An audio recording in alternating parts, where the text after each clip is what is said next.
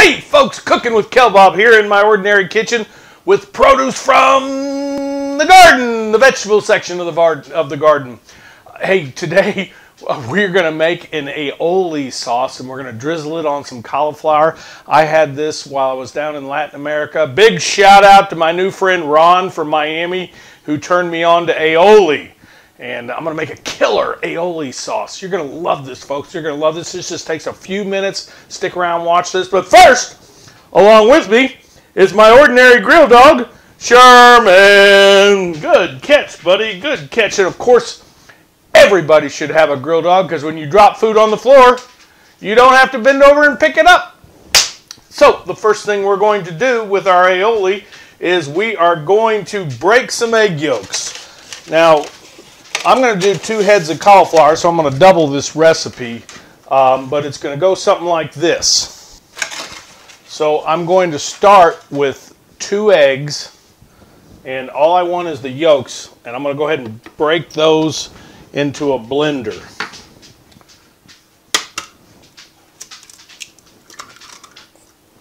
taught me that at chef school. I'm not too good at just getting the yolks.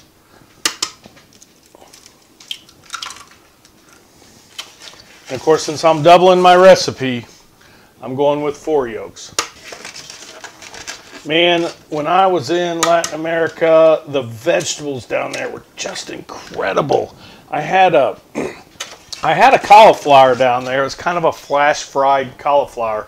And I thought it was this recipe, but it's not. So I made this recipe thinking it was the, the flash fried, kind of like my favorite restaurant in Cape, 36 Restaurant, has a beet salad with a flash fried kale on top. And um, I thought that's what I was making, but aioli is a little different. Aioli is more in the mayonnaise family. And uh, we make it with a, with a light olive oil and some garlic and some lemon. It's really easy. Uh, but boy, you put that on top of, uh, you know, cauliflower. You can see I'm gonna, I'm gonna do cauliflower here, and uh, looks like I got a little bit of cauliflower guts in there, tear that out.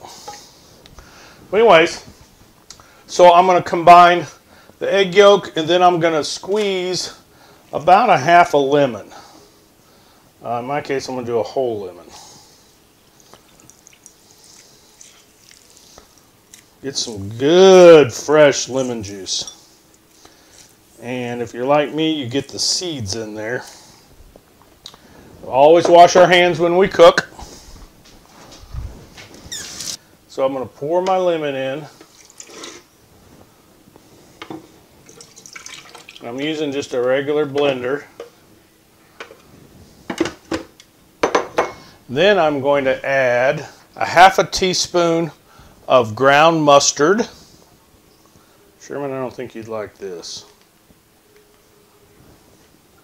Of course, I'm doubling, so I'm going to do a two half teaspoons believe that's a whole teaspoon. And I'm also going to add a half a teaspoon of kosher salt. Somebody give me the definition of kosher salt. Um, put a reply in the video on what makes salt kosher, so to speak. If you know what I mean. So then I'm going to go ahead and blend this. The blender, it's not just for margaritas anymore. Sherman, come here.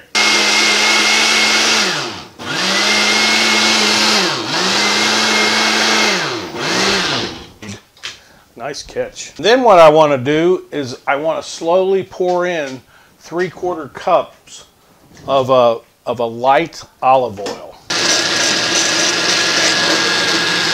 And finally, I'm going to take uh, two cloves of uh, pressed, uh, finely diced garlic.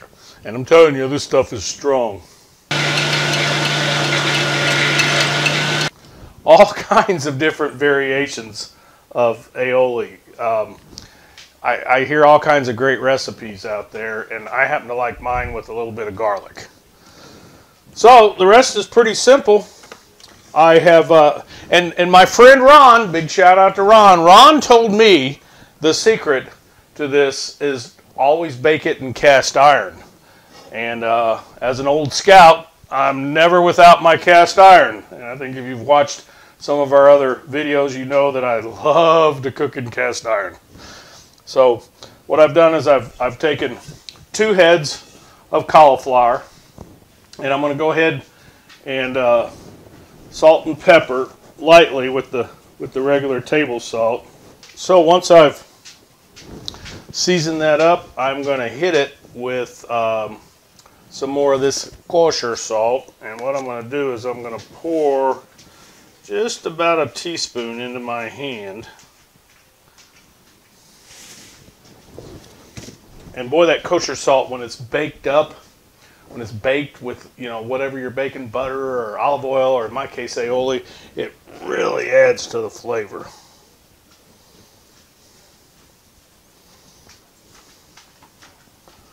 Think that's plenty. See this stuff, see it's, it has the consistency of, of mayonnaise, which you know what mayonnaise is, it's oil and eggs for the most part. Mmm, you can smell the lemon and the, so I'm gonna get my handy dandy spoon and we're gonna just start drizzling this all over our cauliflower.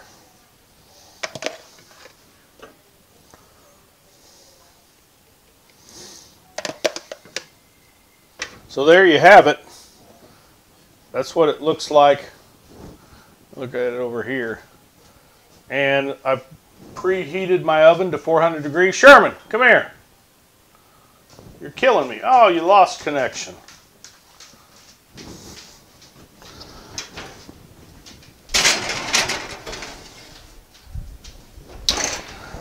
And voila.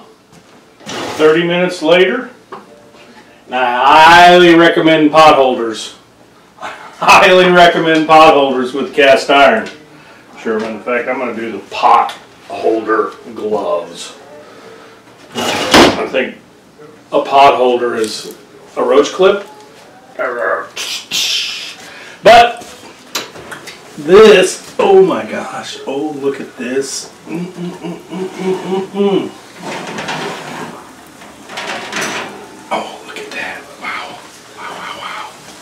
Look at that, folks. Cauliflower baked in aioli that I made myself with my own two little paws. We're going to try some of this.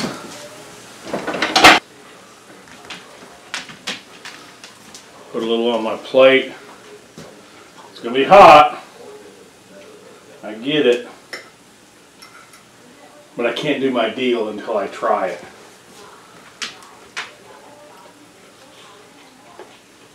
Oh my god. Oh my god, Sherman. Sherman, we killed it. Oh my god.